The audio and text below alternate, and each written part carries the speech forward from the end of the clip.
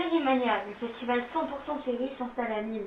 Pendant 8 jours, la ville vibrera au rythme des séries françaises et internationales, avec près de 100 projections des avant-premières mondiales.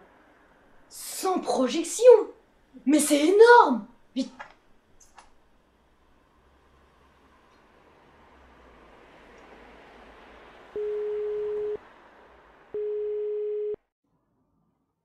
Allô? Salut, tu fais quoi? Ah bah je range ma chambre parce que sinon ma mère elle a dit, elle a dit qu'elle effacerait toutes mes sauvegardes. Bah oui, bah c'est le problème avec les mères modernes. hein. Sinon, je vais au festival Sérimania. Ah, c'est quoi? Tu connais pas? Bah non. Bah rejoins-moi 17 place Mendes à Lille. J'arrive Comme vous l'avez sûrement deviné, on va parler du festival Sérimania. C'est l'occasion de visionner des nouvelles séries encore inconnues et en plus au cinéma. Dans quel cinéma me direz-vous? Eh bien dans le Majestic ou le GC à Lille. Au Majestic, il y aura en plus les équipes des séries présentes. Le festival débute ce vendredi jusqu'au vendredi prochain. Pour les horaires et les salles, allez voir le site qui s'affiche à l'écran. On a trouvé pour vous les trois meilleures séries qui peuvent intéresser les adolescents parmi une cinquantaine. Pour parler de la première, je reçois Clément. Bonjour, je vais vous parler de la série The Birth of Danny Laris. C'est l'histoire d'un père, son bébé et euh, sa femme. Sa femme meurt dans un accident de voiture.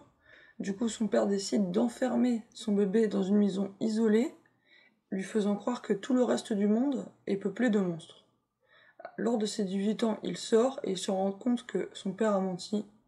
Et il doit s'adapter et réaliser l'enquête pour savoir qui a vraiment tué sa mère.